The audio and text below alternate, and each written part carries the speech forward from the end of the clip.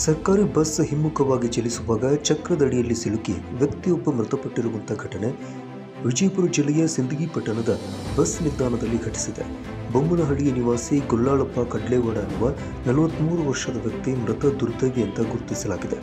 Bus parking ಮಾಡುವುದಕ್ಕೆ ಹಿಂದೆ ತೆಗೆದುಕೊಳ್ಳುವಾಗ ಈ ದುರ್ಘಟನೆ ಸಂಭವಿಸಿದೆ. ಸಿಂದಗಿ ಪೊಲೀಸ್ ಠಾಣಾ ವ್ಯಾಪ್ತಿಯಲ್ಲಿ ಈ ಪ್ರಕರಣ ದಾಖಲಾಗಿದೆ. ಬ್ಯೂರೋ ರಿಪೋರ್ಟ್ ನವ ಕರ್ನಾಟಕ ಟೈಮ್ಸ್ ವಿಜಯಪುರ.